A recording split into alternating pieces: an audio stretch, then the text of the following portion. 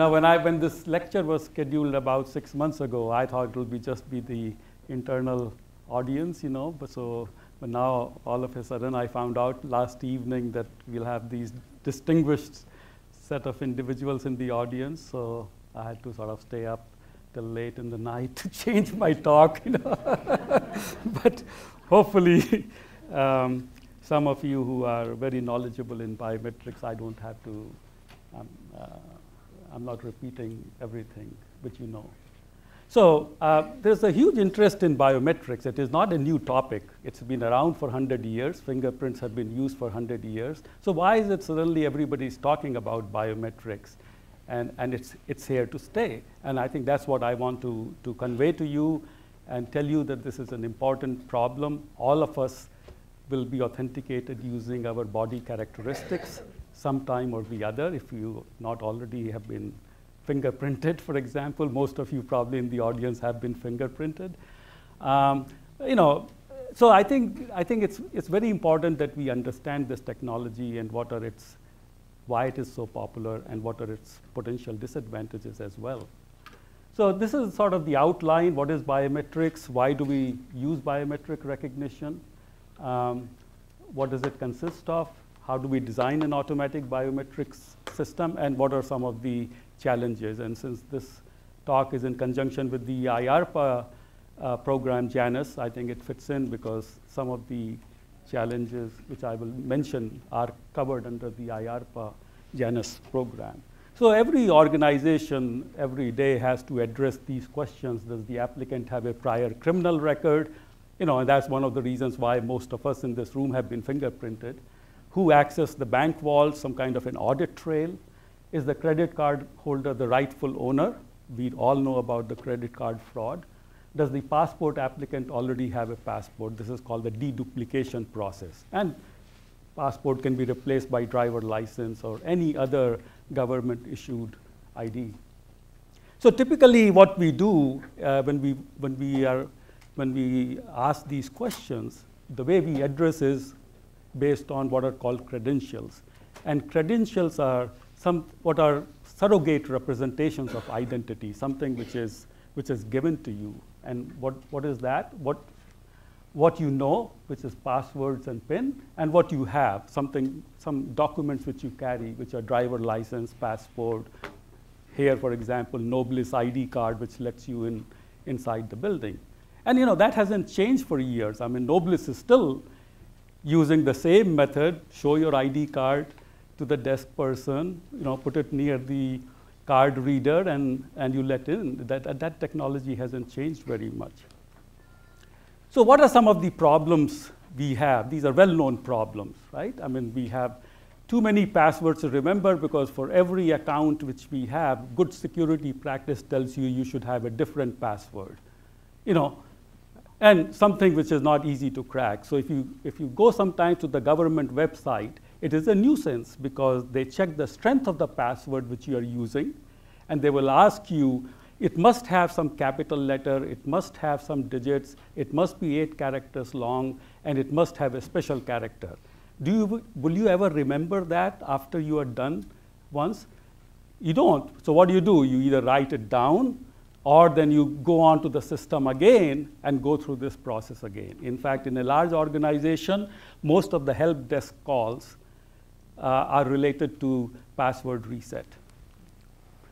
So what do we do instead of having a complicated password which the good security practice uh, dictates? We keep it very simple. And so it's not a surprise that the most popular password is 12345 and, and so on. You know, so in fact, you think that the password protection is a very strong method of authentication. It is not just you don't have to go through all possible combinations of the passwords to crack it. You don't have to do brute force. If I try some of these common ones, I can crack some of the password protected accounts. And once you get into the system, that's where the imposter can create havoc, you know. And that's how most of the cyber crimes are committed. You don't have to break everybody's account. As long as you can break one account, you are into the system. What about the, the other form of credential, namely the driver license? So this, this picture was just sent to me two days ago by, by the Michigan State Police. And they have started doing scrubbing their driver license database now. So in the state of Michigan, they have 13.5 million records in the Michigan Department of Motor Vehicle. And now they are checking using for the first time whether a record has multiple individuals enrolled in the system. Okay? So these are two examples, one male in the top, who, when they did the data scrubbing, they found another person's picture in the database. And at the bottom, there are two, four, five. There are five images in the record, and this person who's, who's being searched, there are two faces of a different person. Okay? And this problem is known to exist in every DMV and as well as in passport databases. But why don't we do anything about it? Well, it's basically the question of cost. The technology is there, but it's the question of the cost. What about the passports? So Interpol, most of you know who the Interpol is. It's, it's an international law enforcement agency. It maintains a database of 40 million lost or stolen travel documents. And these travel documents mean visa, passports, and so on. And what happens when a passport is stolen? Now you have a, a valid government issued document. It's not a forged document, which can be easily manipulated. And so in Spanish police arrested seven men connected to Al Qaeda whose task was to steal 40 passports per month. And there are many such instances. And, and most of the time at border crossings, the passports are scrutinized by, by the immigration officer. And there have been some statistics that they cannot differentiate between the person's true face and the picture in the, in the, in the passport. What about credit cards? I think I'm sure all of you are following. The, the breaches in the credit card accounts have been growing every year, right? So this is one of the largest credit card breach. JP Morgan says data belonging to 83 million customers was stolen. And what happens when the data is stolen? 88% of stolen data used within minutes. That is, so it's not that the, you know, the data is just stolen and lying someplace, as the credit card agencies might lead you to believe. And in fact, there is a statistics which shows that the transaction involving the stolen data is higher, the amount of transaction is higher than when the true owner of the credit card does the transaction. So the counterfeit credit, credit card fraud in the United States amounted to $5.3 billion in 2012. Now, why doesn't the credit card agencies do anything about it? Well, the reason is the cost of changing all the processing at the point of sale terminals will cost them more than $5.2 billion. And it's a very, very small amount compared to trillions of dollars of transactions they do. So they just view it as a cost of doing transaction. What about bank ATM? Same thing. We do two-factor authentication. Every time you want to withdraw the money, you enter the card and a four-digit PIN. Most common four-digit PIN people use is one, two, three, four, right? In fact, if you have a complicated PIN, often people write the PIN number on the card itself. So if you lose the card, then the second factor is gone. And again, the total estimated annual number of unauthorized transactions, third party fraud in 2012 was 31 million with a value of 6 billion. This was uh, released recently from the Federal Reserve uh, Bank. So as a result now, how do we increase the security? And so this is an example of a biometrics ATM in China. It's a three-factor authentication, card, PIN, and some kind of body characteristics, in this case, finger vein. Okay? Why didn't they use fingerprint? Well, we can talk about this later, but sometimes, you know, in, in some countries, fingerprints are associated with criminals and they tend to avoid using a modality, they tend to use modality which is different.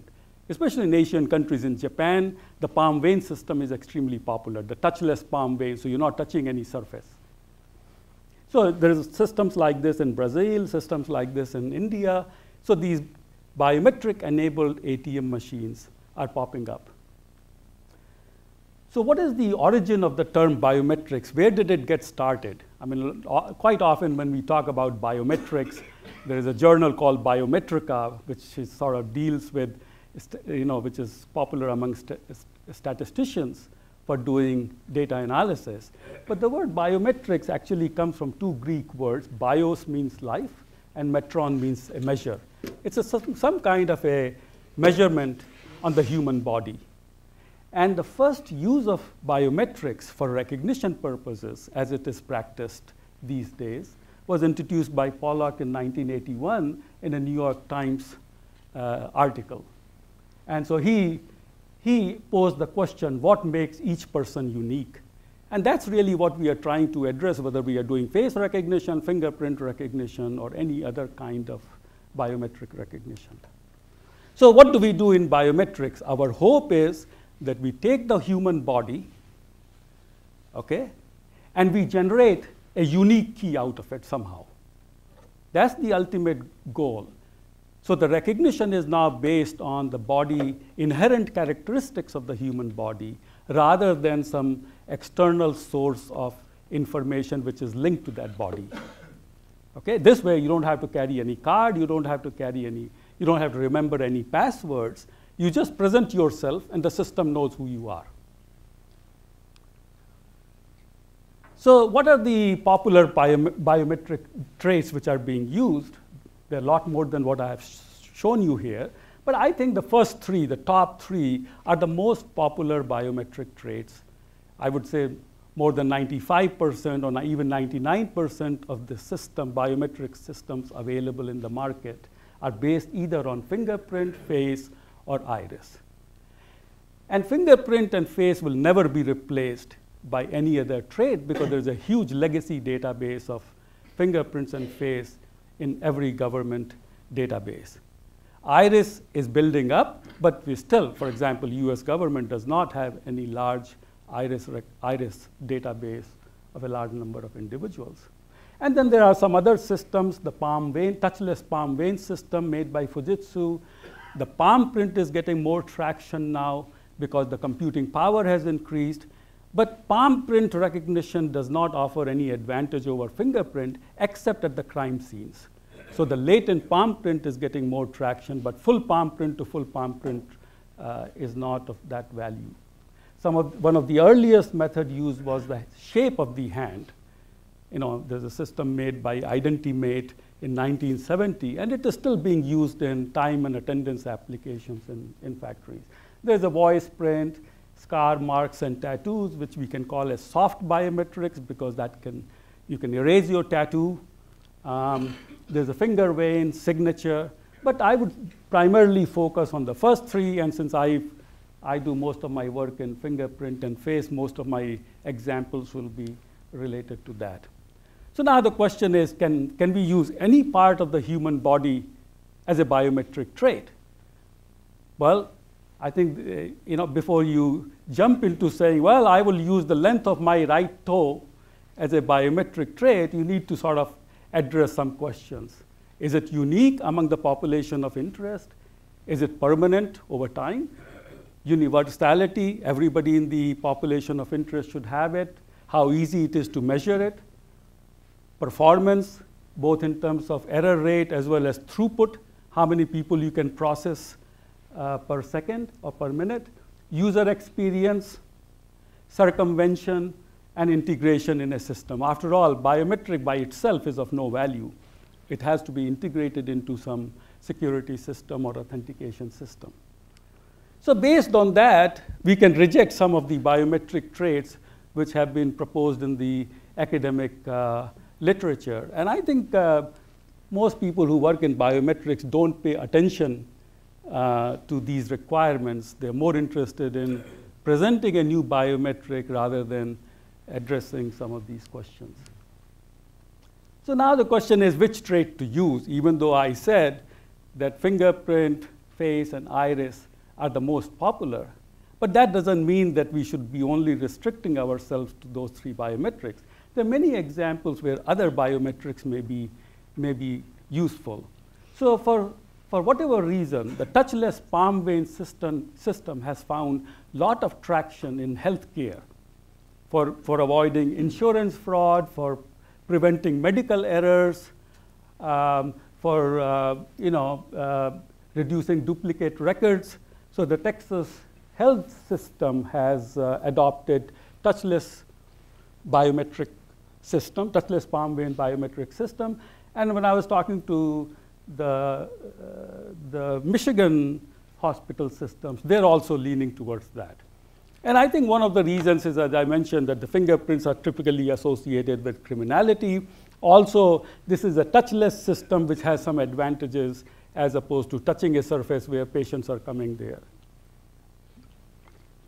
On the right, I'm showing you an example which is quite interesting. As you know, in China, there are a large number of coal mines, and there, there have been a lot of coal mine accidents in China.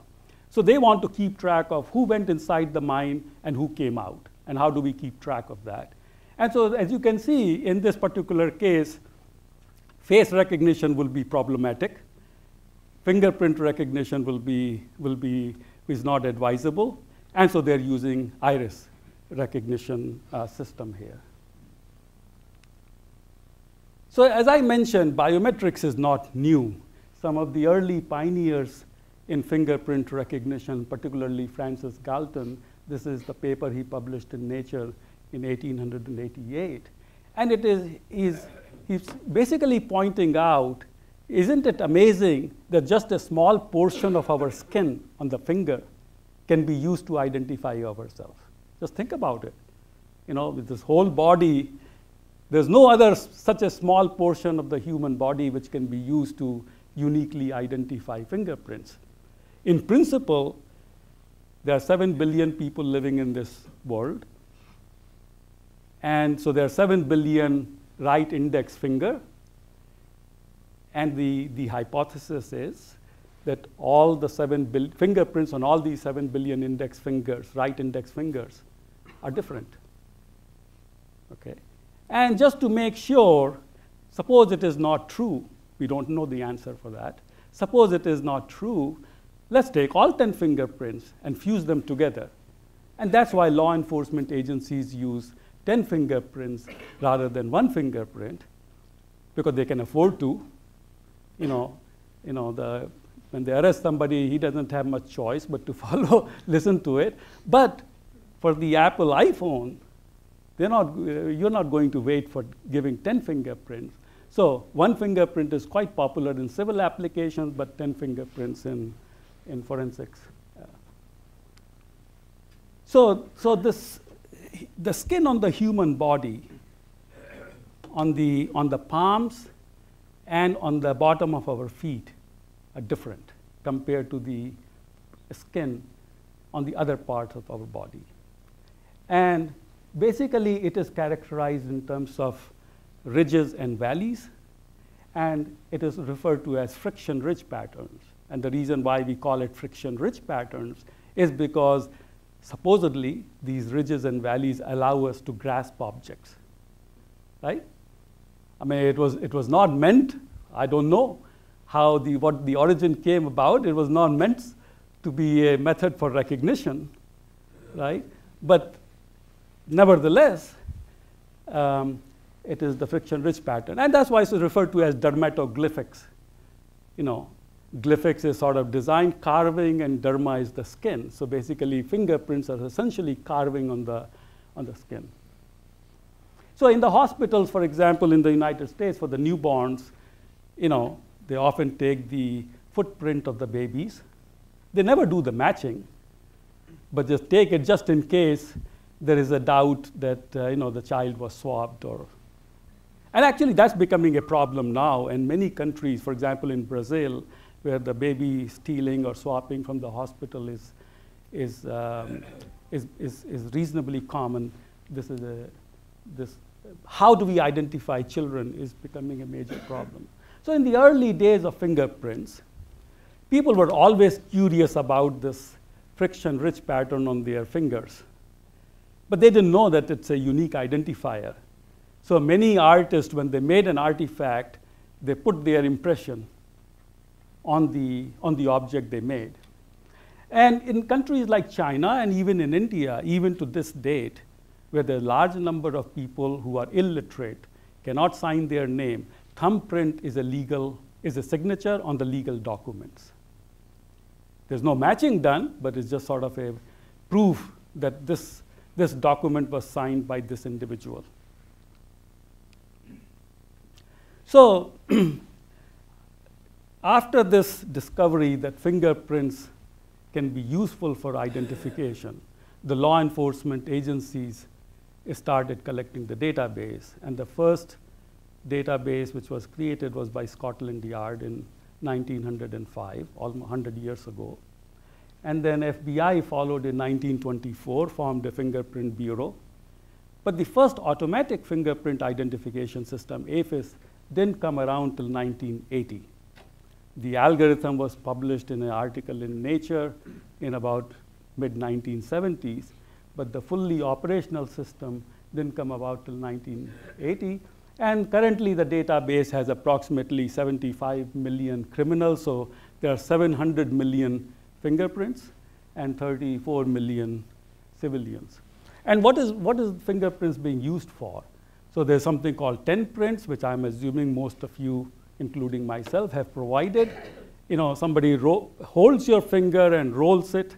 All 10 prints are covered. That's the first two rows on the left card. And then there are slap fingerprints, four, four, and the two, two thumbprints. Okay? And this is basically what goes on at the border crossing in the US. Any visitor coming from non-visa waiver country provides the 10 slap prints because roll prints require somebody to hold your finger and, and provide the fingerprint. So that's primarily, the 10 print matching is primarily done to do the background check or find if this criminal is already in the database under an alias. But it's the latent matching which is what is used by forensics to solve crimes. And that's still a very challenging problem. So at a crime scene, we lift this partial fingerprint, which is smudgy, noisy, has a lot of background clutter.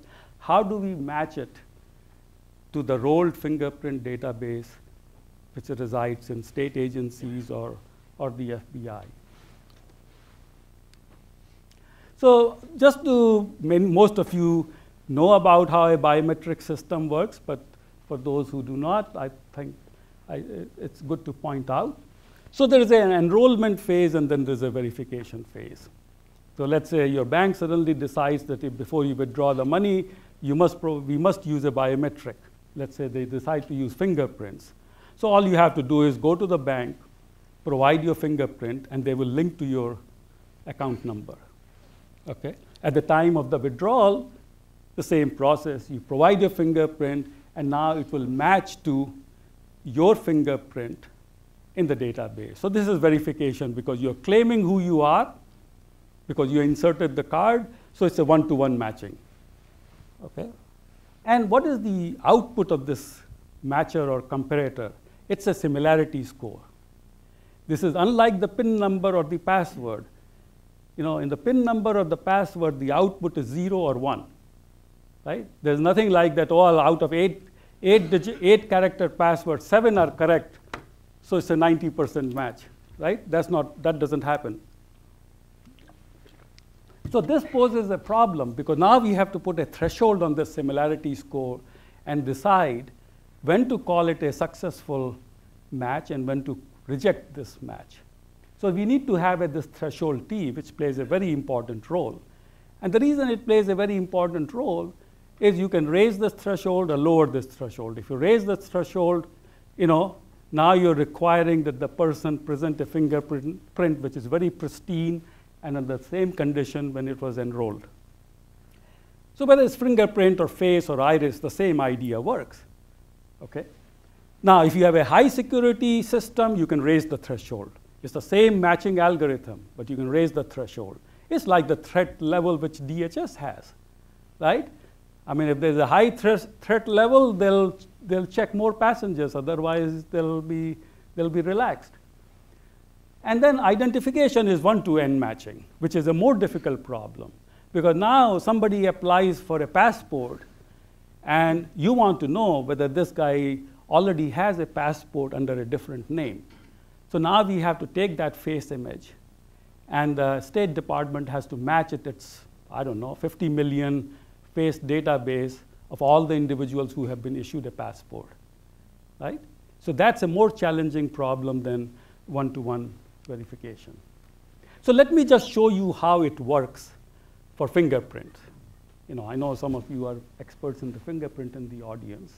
So there are two types of features in a fingerprint. One is the friction-ridge type. How, what is the flow of the ridge pattern, ridges and valleys in the fingerprint? And so generally at the broad level, there are three types of fingerprint. If you look at your fingerprint closely, you can tell whether it's an arch type, a loop type, or whorl type. And the loops are left loop and the right loop. Left loop, the ridges enter from the left and exit from the right. Okay? And you can do a classification based on the presence of these points of singularity called core and delta, where the, where the orientation flow changes abruptly. So this is at the high level, one could use it for sort of filtering the database. But at the fine level, when you actually do the comparison, you use what are called ridge endings and ridge bifurcations, where the ridges abruptly end and ridges bifurcate. And typically there are about 100 such points in a rolled fingerprint image. In a slap, there might be fewer, and in an Apple iPhone, where they have a fingerprint sensor, there may not be any minutia because the size of that image is only 70 by 70, and the rolled fingerprint is 512 by 512. So how do we do the comparison? We have a query fingerprint, we have a reference fingerprint, we basically find the minutia in both of them. I'm giving you a simplified version of it, but almost every commercial fingerprint matcher relies on, on minutia, except the iPhone. And then you find the similarity based on how many correspondences you could establish. And then based on the threshold you set, you decide whether it's a match or a non-match. Now, unlike what some people, what you may have read or what some people may have made you believe, biometric systems are not perfect. They make errors. And the errors depend on how the, what is the quality of the image which was acquired. It also depends on the threshold you set. So the two types of error, errors, if you're doing a one-to-one -one comparison, false match, false reject. Right? Your fingerprint was matched to somebody else's, or it's really you, but the system didn't recognize you based on the fingerprint, right? Be why? Because you know finger may be wet, you know you may have dirt on your finger, you may have a large cut on the finger. So in that sense, biometric systems make errors. So let's say your, uh, your local bank has a fingerprint verification system for withdrawing the money at the ATM, and you go in the night and you really need the money, and the system doesn't recognize you. What are you going to do? So there always has to be some, some sort of a bypass mechanism in order not to upset the customers. So in order to talk about the errors, we have to talk about two types of distribution. So vertical axis is frequency, horizontal axis is similarity. So the blue curve shows what is called imposter scores. When I match my fingerprint to everybody else in this room, that score will be low. And so typically imposter distribution is peaked and to the left.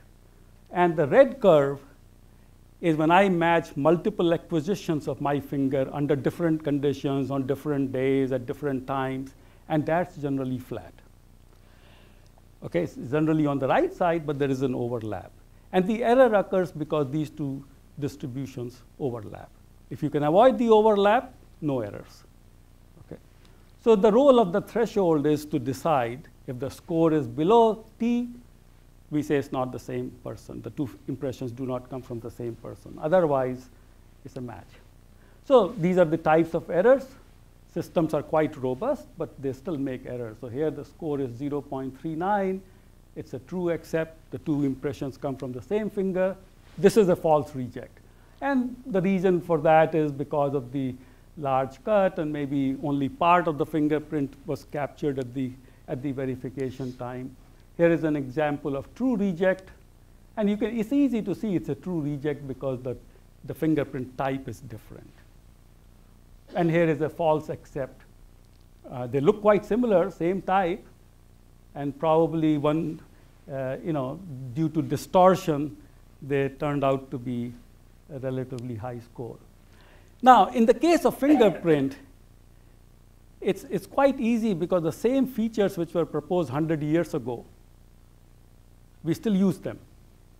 Okay? In that respect, face recognition is more challenging because we don't know what features to use. Everybody is using their own proprietary features. They use, you know, we started out in 1980s with global features like eigenfaces, right? And there was a big excitement for five to 10 years, but it had nothing to do with the face, rec- face characteristics. Eigenface is, you can compute eigen image of anything, any object, okay? But there was a lot of excitement for the five or 10 years because people applied on a very small database, controlled illumination, but as things started getting more challenging, people had to abandon that. So there was eigenface, Fisher face, then people said, well, we need to look at local characteristics in the face. So that seems to be a little bit more popular. Or look at 3D models of the face. So that's what this Janus program is all about. So the problem in face recognition is you have a query image called probe, you have a large database of gallery, and you need to find the match.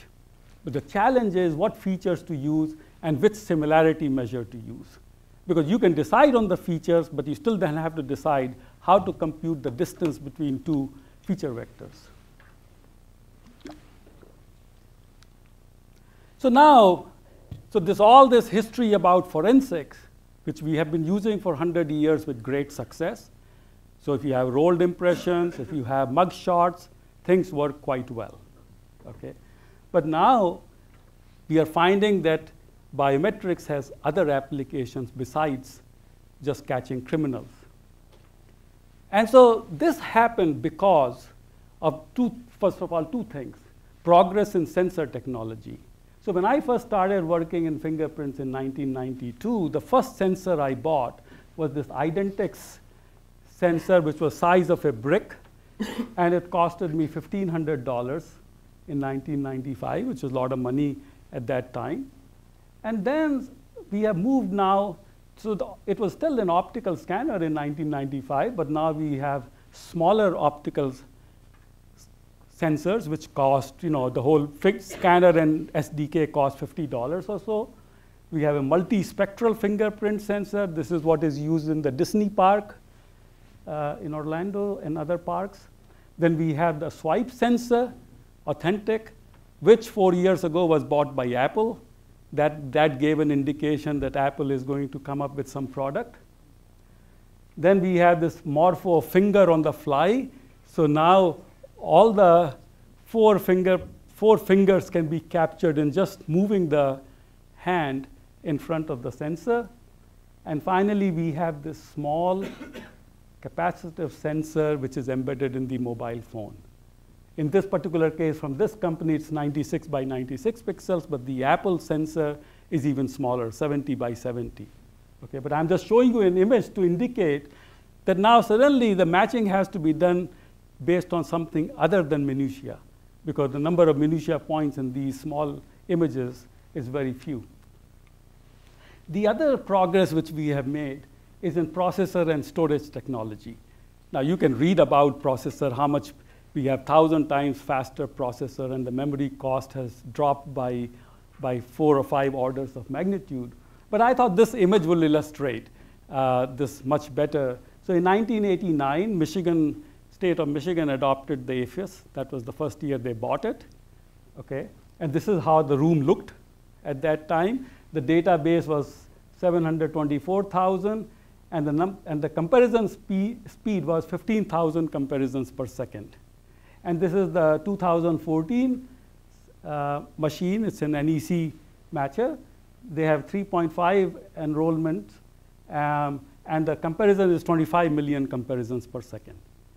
Okay, so so you can see. So this has this has made tremendous. Uh, of course, the algorithms have also improved, but a lot of the progress in biometrics is because of these sensor technology and the processing technology. So now I just want to give you some examples of game changers, which in my opinion has led to the pervasiveness or the spread of, of biometric technology. So the first one is the, is the US visit which is now called OBIM, int introduced in 2004 after the 2001 terrorist attack. The government had to take some action, and at that time they said, well, everybody will, will take two fingerprints of everybody. And then sometimes later in 2008 or 7, they said, well, we need to take all 10 to be compatible with the FBI uh, database. The next thing is Walt Disney Theme Park in 2005. And this had nothing to do with the security. This primarily had to do with many ticket holders were sharing the ticket with somebody else. And Disney was losing money. So this is an example where the threshold can be very low. You don't want to upset the valid customer, even though once in a while the imposters will, will get in. Okay. The next game changer, in my opinion, is the FBI's next generation identification, NGI, where they say, well, we need to move beyond fingerprint. We need to consider palm print, face, iris. So face is already online, and I think uh, progress is being made on palm print, and they also have an interest in scar marks and tattoos because in criminal investigation, a lot of individuals can be identified based on scars and tattoos, especially if you have a surveillance video. The face may not be very clear, but the tattoo or the scar may, may, may help in identifying the suspect. So as I indicated, the first AFIS was in 1980. The IAFIS was launched in 1999. So IAFIS stands for Integrated AFIS. That's where there was an online link between all the state AFIS systems and the FBI's central repository. So if a search is made in state of Michigan, they didn't find the criminal, it's a high value crime, then they share it with the, with the FBI online. The next game changer, in my opinion, is the India's Aadhaar program, in 2000, started in 2009. And basically, they want to give a unique 12-digit ID number to every resident in India, which is about 1.2 billion and growing. And in order to, again, resolve these identities, they said, well, fingerprint is not enough, iris is not enough. They said, well, we need to use a fusion of fingerprint and iris. So for every resident who wants this number, they take 10 fingerprints and two iris. They also capture the face, but face is not used for deduplication. So they take the 10 fingerprints, two iris images, and search the database of everyone who has been issued the number to see if this person who is applying for a number in Bombay already didn't go to some other city and applied for the, for the number. So this is the deduplication process, which I showed you is what Michigan is trying to do with the driver license based on the face. So now, in, in about five years, they have enrolled 700 million residents in India. This is a massive project. I mean, just imagine India consists of villages, remote areas. So it's not that these people are coming to some central site to get provide their data. Nobody will come. The, peop- the registrars have to go there to, to enroll these these subjects. And there are 500 million more to go, right? So this is the world's largest biometric database. So far, despite all the political upheavals in India, this has survived. And now the applications of authentication are being built on top of it. So this central agency is only responsible for certifying that this 12-digit number is unique for this individual. And India's program is now by followed by many other countries. For example, Brazil uh, has, is considering, but Indonesia has already launched, Mexico has already launched. So over 1 billion people have been covered by biometric identification programs. The other game changer is the 2013 release of, of uh, iPhone 5S, which has the Touch ID system. And um, you know, about about 60% of the mobile phone users don't, don't protect their phone even with PIN. Okay? And if they protect it with PIN, it's one, two, three, four. Okay? So, so, and you know, these days, I think we spend more time on mobile phone than our notebook and our laptop or desktop. Right? It has a lot more valuable information. And you know, for that matter, a smartphone costs the same or more than a notebook. So it's important for people to, to do that, and it, this has been quite successful. There have not been any well-known glitches. Another game changer is again by Apple, 2014, and this is the Apple Pay. I think this is really going to change things on how we pay. So it's like cash, credit, or Apple Pay, right? And already more than 100 large banks and department stores have signed up for it. So the idea is all your card information is now stored on the phone itself. So when you, when you make a purchase, you don't have to present a card. The information is already there. You, you make a communication through the through near field communication device, and then you enter your finger on the, place your finger on the fingerprint sensor, and it does the recognition. So it is a two-factor authentication. You have to have the device, and then you have, you are providing the fingerprint. And today's uh, USA Today said, well, with all this success, it won't be a surprise if Apple becomes the first $1 trillion, has a $1 trillion valuation. Now, mobile phones are everywhere, so anything you do with mobile phones will be a big hit. So there are 7 billion people living on the earth, and there are 7 billion mobile phones. You know, and this, this number is growing. So this guy in Africa, he has a mobile phone. He does not have a running water in his house, no toilet, no covered, you know, concrete building which he's living in. This form of communication has really changed. And I think this payment system, secure payment system, will really change lives of many of these people who don't have access to the banks very easily. So I think I'm coming to an end. So what is the performance of the biometric system? As I said, I'm just primarily showing the numbers here for face, fingerprint, and iris because, you know, the most credible numbers are from the iris study, from the NIST studies, and I think NIST has done a really remarkable job in, in, in advancing the state of the art by periodically conducting these, uh, these studies. So one way to illustrate the state of the art performance is to look at these two axes. Is the user cooperative or uncooperative? And the vertical axis is the imaging conditions, constrained or unconstrained. So the easiest problem is the at near the origin, we have a constrained imagery, and the user is cooperative, listening to the instructions, and that performance is under control. Right? Doesn't mean it's 100% solved. As I said, you know, you'll still have some occasional errors. And then you have the most difficult scenario on the upper right corner. So LFW is one of the popular public domain databases of unconstrained imagery.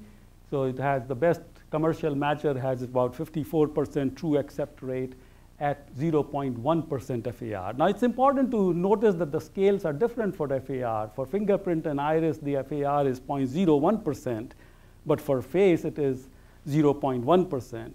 And if you go to the LFW website, they will report 99% TAR at 1% FAR. So it's important to always keep in mind that the scales are, are, are the same, right?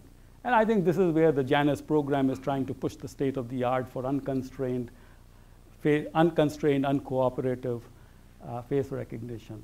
NIST SD27, which is the latent fingerprint, the best latent commercial matcher gives about 72% rank one accuracy, and, and so on. So what are some of the challenges? Well, you know, after all these years of biometric, we still don't know the fundamental question. What is the resolving power of a biometric trait. If I give you a 10 digit PIN number, I know how many unique pins I can assign to individuals, right? But if I ask the question, what can we say about a biometric trait? We don't know, okay? And there's also a difference between trait versus sensed image. And that's where I think the previous slide about imaging condition is extremely important. So you know, the, the number of twins is increasing, and that's why FBI has been collecting the twin database in, of all places, Twinsburg, Ohio. Every year, FBI sends a team to collect the data of the twins. So here's a problem. You know, tattoos are useful to the FBI, but there are other uses of tattoos as well. So this is the issue now of the capacity of a biometric trait. You know, so here the China, China has a population of 1.3 billion can a, can a state-of-the-art COTS recognize these, uh, if I just gave the mug shots? We don't know the answer to this question. The same question, the next question we can ask is the persistence of a biometric trait. Over time, what can we say about the, about the performance of a biometric recognition system? Should we be updating the template periodically, or the template once we enrolled is good for the rest of the life? What about the face recognition accuracy? Fortunately, we have a large database of face images from PCSO, thanks to Scott McCallum, who was at PCSO that time.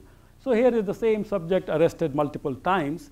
And below each image, I am showing you the face scores which Brendan computed when he was at Michigan State.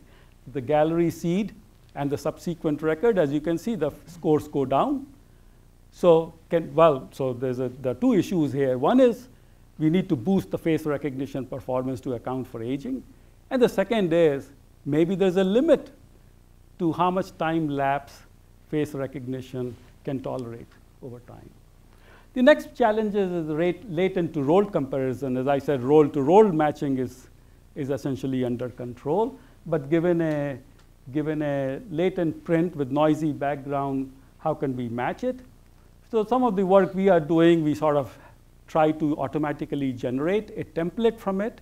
And when we feed in this template along with the, to a, to a COTS latent matcher, we can boost the performance. So this idea, this notion of using multiple templates rather than relying on a single template to, to do biometric recognition is, is quite useful. I think the workshop which follows this is about the unconstrained face detection and recognition. So I just want to motivate this also. I mean, I already had this slide in my presentation, but one of the challenges is you cannot do the recognition if you cannot do the, if you cannot detect the face. So while this face detector does fairly good, there are still some faces which you and I can detect in this crowd, but which the state-of-the-art face detector cannot do. and finally, I want to just show uh, what, what, uh, what uh, uh Josh uh, did in my lab when he stayed for six months. Um, you know, he was there in the spring semester of 2013 when the Boston bombing incident took place. And um, so there were two suspects, the two brothers. Uh, and uh, on the right side is the, well, the, the, there was a mug shot of the older brother, but there's the photo of the younger brother was from the social media websites. And um, what, he, what, what uh, Josh did was to take the 1 million PCSO mug shots and try to match it. The the younger brother could be matched at rank one by one of the COTS matchers, but the older, older brother didn't make a hit till rank 5,000 or something. So more recently what we did, uh, uh, Brendan and um, Scott McCallum, who is also at Noblis now, they built a system, and Josh also helped in that, built a system for taking the sketch and matching it to the, to the mugshot. So this is called Face Sketch ID system, which now has been licensed to Morpho. So basically, you can enter a sketch in the system and match it against the, against the mugshot database. So we said, well, let's try to see how we can do this face. Oops, I need to click on it. So this is the sort of the video of the uh, of the Boston Marathon bombing. On the right now, we will see the, uh, the, um, the two images of the older brother. So what we did was we asked a sketch artist to draw a sketch of the face because the, you know, the eyes were covered with the sunglasses and the sketch then made a hit. So this sort of shows the power of sketch-based recognition when either you don't have a face image of the suspect or you have a very low quality face image which cannot be matched by the commercial COTS matcher. So in, in conclusion, what I want to sort of point out is that biometrics, as we know currently, has its origin in forensics. And now we moved into mobile phone authentication. But I think most of the challenging problems which remain are, we, are back into forensics now. And so, so this uh, 2009 NRC report, National Research Council report about strengthening forensic science in the United States is suddenly receiving a lot of attention, not only by the, by the law enforcement agencies, NIST, and many other government organizations. And, and the challenge is to find the statistical underpinnings of forensic evidence. And two questions which I posed earlier, what is the capacity of a biometric trait and what is the performance over time, directly address uh, uh, some of the points raised in this, in this report. So if you, if you are presenting forensic evidence, what is the confidence interval and what is the, what is the chance that this, this, is, uh, this could have been matched to somebody else? So this, this, I think, sort of illustrates why we need more attention to forensic science rather than other kinds of applications. So this article appeared in September 16th, and it shows one form of forensic evidence, namely the bite mark, and how many individuals have been wrongfully convicted based on the bite marks and now being exonerated based on the DNA. I mean, if you want to know more about it, you can go visit the Innocence Project website where they list a lot of wrongful convictions. So to summarize, fingerprint matching has been successfully used in forensics for over 100 years. Now biometrics is pervasive in our society and is here to stay. And the main reason why it is, it is needed is to enhance security and eliminate fraud, financial fraud, whether it is in the government or your own personal accounts. But there are still a number of challenges, recognition under non-ideal conditions, spoof detection, user privacy, system integrity, and, and, and so forth. So with that, I will stop, and if there are any few questions, I'll be happy to answer. Thank you very much. Right here up front. Go ahead. Oh, uh, Anil, you're probably aware that the South Koreans have submitted a working draft or a standard for palm crease um, biometric identification technology to, to insights. Uh, I was wondering if you had any thoughts on the viability of that. I guess they have a lot of fortune telling. well, I think the, um, you know, the palm, palm print matching has sort of the same general principle as fingerprint matching. I mean, a lot of palm, palm print match, palm crease, right, right. Well, so I think the only problem I would see is that the, sometimes because of the concavity in the, in the palm, acquisition of the palm print can be a little bit problematic. Uh, the other thing is, why do we need it? Is it is, will it perform better than fingerprints? Probably not. So, so I really don't know what their rationale is to push palm crease.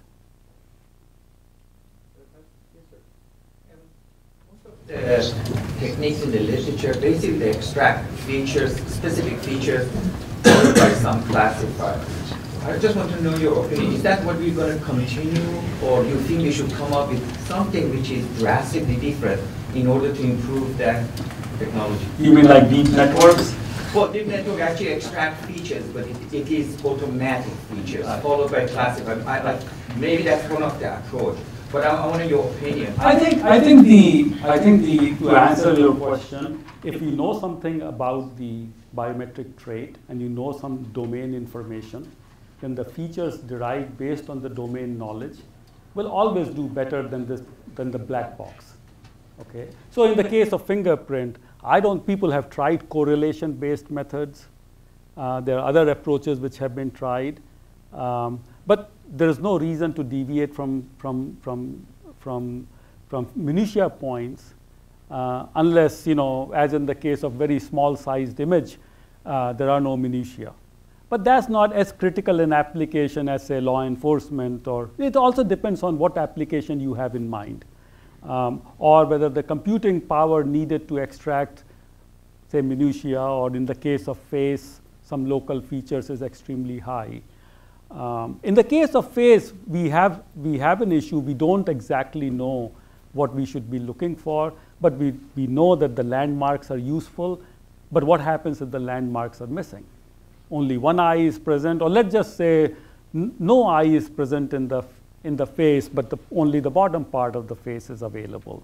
So I think uh, whatever you know you can utilize based on some prior knowledge about the imagery, uh, that, that's likely to work better. One last question. Yes, sir. Um, Has there been any research into brain waves as a biometric? Yes. So question is, has there been any research in brain waves? Well, I mean, I don't know what you mean by brain waves, but EEG, EEG, yes, EEG, EKG, they've all been tried. But you know, these studies are sort of academic studies with only a couple of hundred subjects in ideal conditions. You know, so the question is, would you like to be authenticated if you're buying a hamburger by wearing something? Well, I mean, maybe there is some secure installation where you are, uh, you know, you're required to do all these different things, put you under the CAT scan. I think CAT scan was under my rejected uh, biometrics. make uh, the whole question of postmortem identification a little bit more interesting, doesn't it? Yes. Uh, Thank you very much for coming. Uh, Thank you. A Noblis plan in our academic tradition, and Uh, I hope you come back again. Okay. Thank you. Thank you very much.